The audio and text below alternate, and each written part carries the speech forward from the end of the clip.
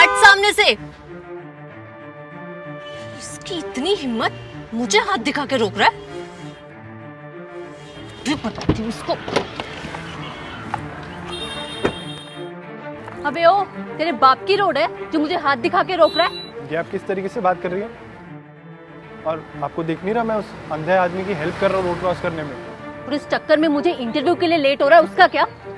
वैसे भी तुम जैसे गवारों के दिमाग में ये सब बातें कहाँ पड़ेंगी? काम धंधा तो कुछ होता नहीं है। बस लोफरों की तरह रोड पर घुमा लो तुम लोगों को। आपको तमीज़ नहीं है क्या बात करने की? या फिर आप सबसे ऐसे बदतमीज से बात करती हैं? तो तू मुझे सिखाएगा कि मुझे किससे कैसे बात करनी चाहिए? इतनी औकात है तेरी। वैसे भी मैं तुम जैसे लोगों के मुँह नहीं लगती। इंटरव्यू के लिए लेट हो रहा है मुझे।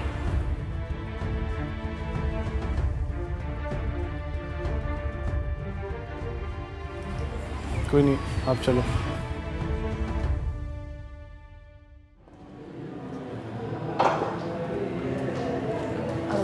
Hello sir I came here for the interview तो कहाँ पर जाना है? एक्चुअली वो अभी सर आए नहीं हैं। उनके रास्ते में कार ख़राब हो गई थी और कुछ इशू हो गया था इसलिए वो लेट हैं। आप थोड़ी देर यहाँ वेट करो वो जब आएँगे तो मैं आपको बुला दूँगा ओके सर थैंक यू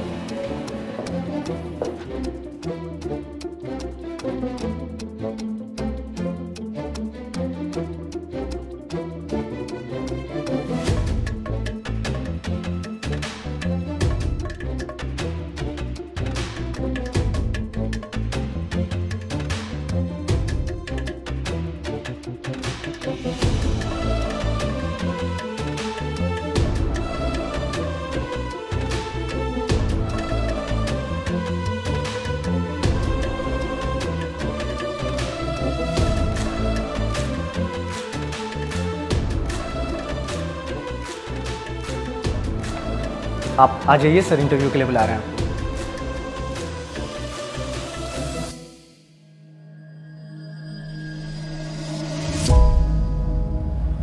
तो तुम यहाँ इंटरव्यू के लिए आने वाली थी। तो आप इस कंपनी की बॉस हैं?